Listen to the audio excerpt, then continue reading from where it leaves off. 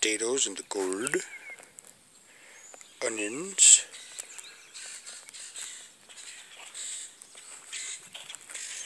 cabbage,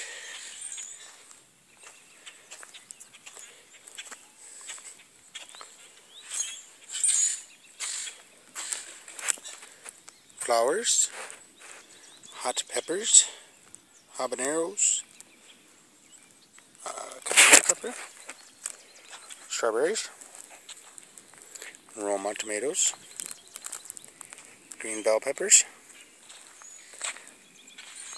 Uh, these ones are the better boy, big tomato, celery, more flowers,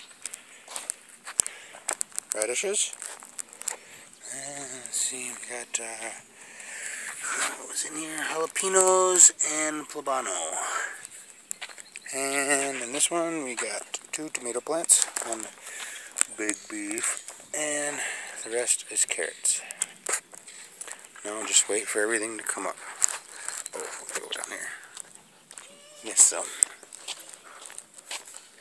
We got asparagus growing there, and we got horseradish there.